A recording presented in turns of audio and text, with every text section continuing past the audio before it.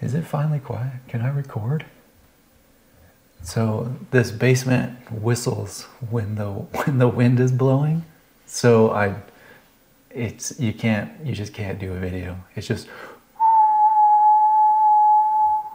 constant. Constant. I got to figure that out.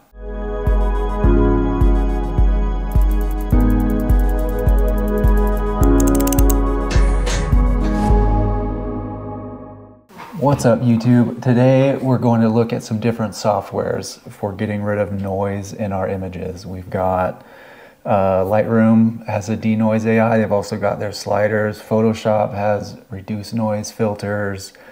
Um, Luminar Neo has a noiseless AI function. Um, Topaz Labs used to have a denoise AI app and and a photo AI app, and now Photo AI 2 is out, or it came out in September, and it kind of combined Sharpen AI and Denoise AI and Photo AI into one AI 2. So we're gonna look at that. That's pretty exciting. And Nik Collection 5 has a filter. I haven't bought 6 yet. If you think I should get 6, please let me know.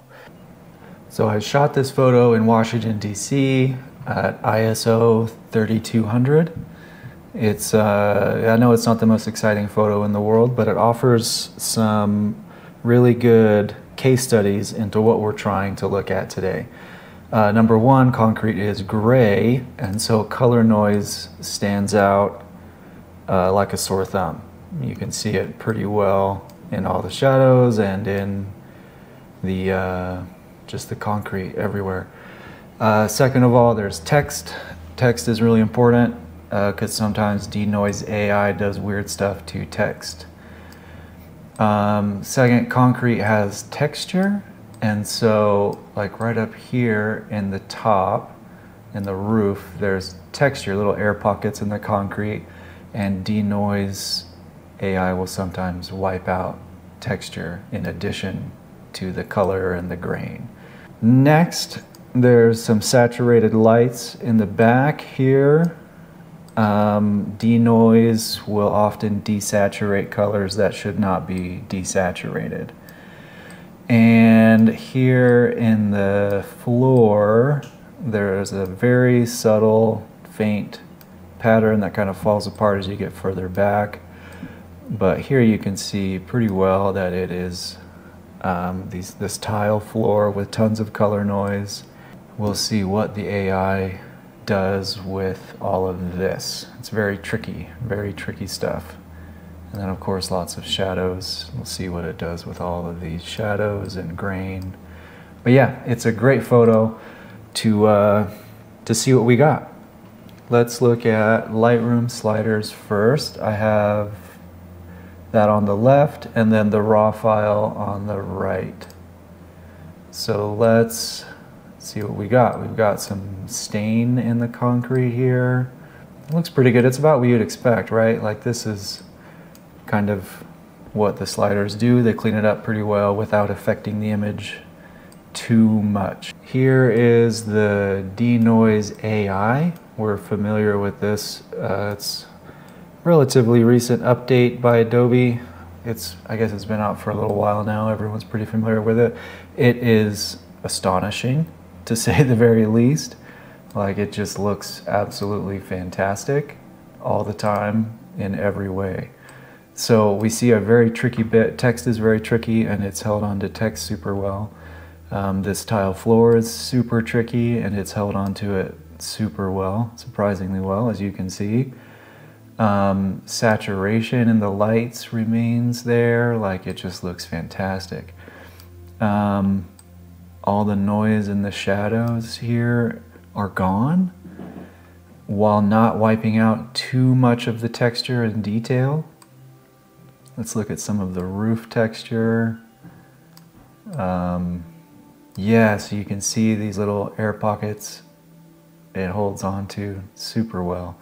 So, I mean, if you already have Lightroom, this is kind of the best option. Not kind of, like it, it just is. If you've already got it, you may as well keep it. Like it's just fantastic. I think it's $10 a month for the photography plan or something along those lines. So yeah, just all around super great. Most everything after this is gonna be worse.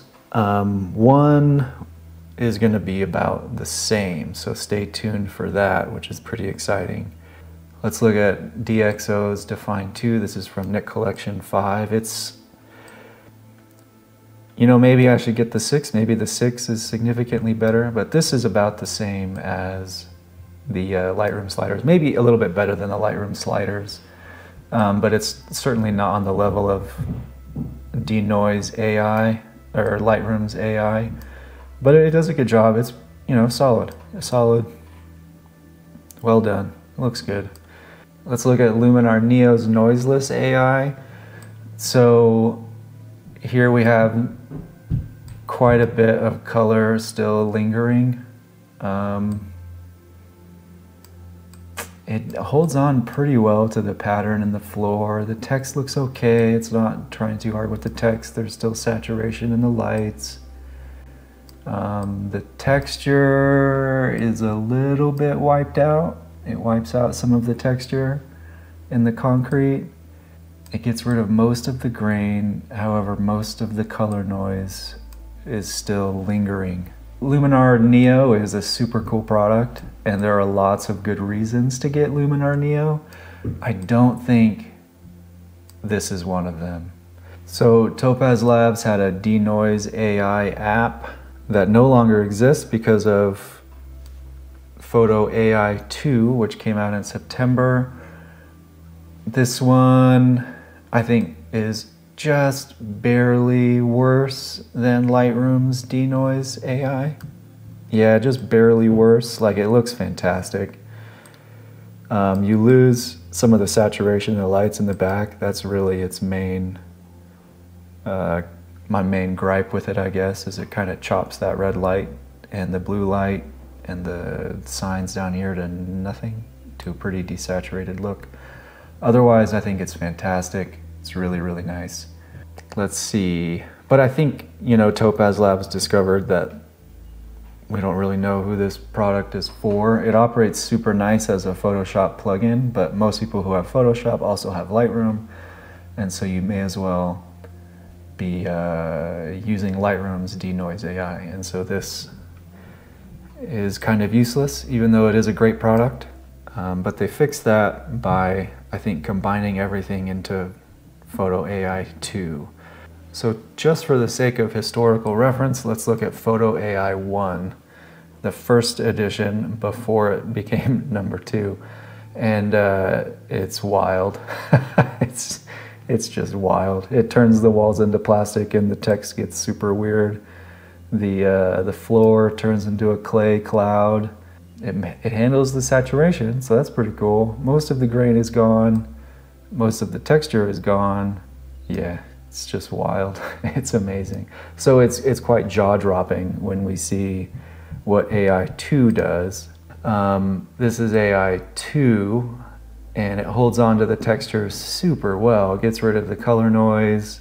It holds the saturation in the lights in the back. It holds the detail in the floor super nicely. It's incredible. The text is not absurd. The walls look good. The shadows look good. Crazy. Yeah, I mean, this is as good or even, yeah, it's just as good, maybe slightly better than Lightroom.